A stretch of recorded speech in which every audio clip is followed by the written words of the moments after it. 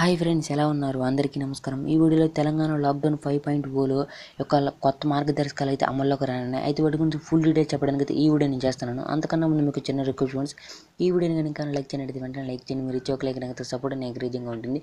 అలాగే ఇలాంటి genuine and fresh content కోసం మన ఛానల్ సబ్స్క్రైబ్ చేసుకోండి. అలాగే పక్కన ఉన్న బెల్ ఐకన్ యాక్టివేట్ చేసుకోండి. అప్పుడు మాత్రం ఇలాంటి లేటెస్ట్ వీడియోస్ ఫస్ట్ మీరు చూడొచ్చు. ఈ రోజు వీడియోని కనుక మనం చూసినట్టయితే తెలంగాణ ప్రభుత్వం లాక్డౌన్ పొడిగిస్తూ కొన్ని కొత్త మార్గదర్శకాలు అయితే జారీ చేసింది. అయితే ఈ యొక్క మా కొత్త మార్గదర్శకాలు అయితే జూన్ ఎనిమిదో తారీఖు అంటే ఈ రోజు నుంచి అమల్లోకి రానున్నాయి. ముఖ్యంగా మనం చూసినట్లయితే ఈ యొక్క నలభై అంశాలను అయితే పొందుపరిచే విధంగా అయితే తెలంగాణ ప్రభుత్వం కేసీఆర్కి అయితే కొత్త మార్గదర్శకాలను అయితే విడుదల చేస్తారు ముఖ్యంగా మనం చూసినట్లయితే జూన్ ఎనిమిదో తారీఖు నుంచి ఈ యొక్క కొన్ని రంగాల సడలింపులు అయితే ఇచ్చారు మన ఏపీలో అండ్ తెలంగాణలో. ముఖ్యంగా మనం చూసినట్లయితే ప్రార్థనా మందిరాలు అతిథి సేవలు అంతర్రాష్ట్ర రాకపోకలు హోటళ్ళు రెస్టారెంట్స్ మాల్స్ అనుమతి అయితే ఇచ్చారు.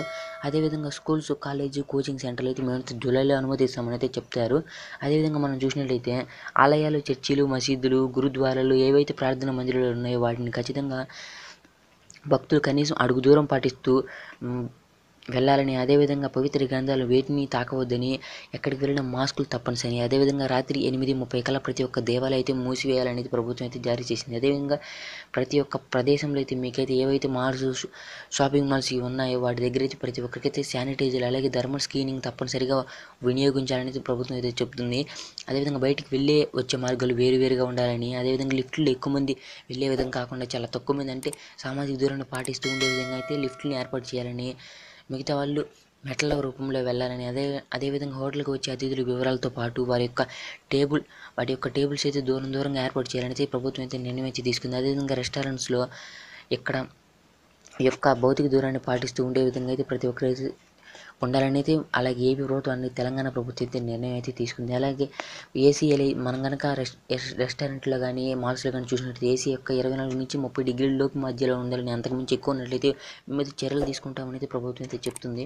అదేవిధంగా మాల్స్లో కానీ ఇంకెక్కడైనా కానీ చిన్నపిల్లలు ఒకే చోట ఎక్కువ మంది ఆడుకునే విధంగా కాకుండా ఎవరికాడు ఇండివిజువల్గా ఆడుకునే విధంగా ఉం- ఉండాలని ప్రభుత్వం అయితే చెప్తుంది. అదేవిధంగా జిమ్లు మెట్రో ట్రైన్స్ అంతర్జాతీయ విమాన సర్వీసులు పార్కులు బార్లు ఆటోరియంలు క్లబ్లు రాజకీయ సామాజిక సంస్కృతి మతపరమైన కార్యక్రమాలన్నీ ఇక్కడి నుంచి అందుబాటులో రావాలని ప్రతి ఒక్కరైతే తమకు బాధ్యత వహిస్తూ ఉండాలని ప్రభుత్వం అయితే చెప్తుంది. ఇది ఫ్రెండ్స్ ఈ వీడియో.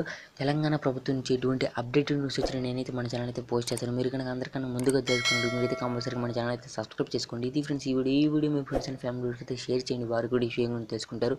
ఈ వీడియో గురించి మీకు డౌట్స్ అయితే కామెంట్ సెక్షన్లో కామెంట్ చేయండి.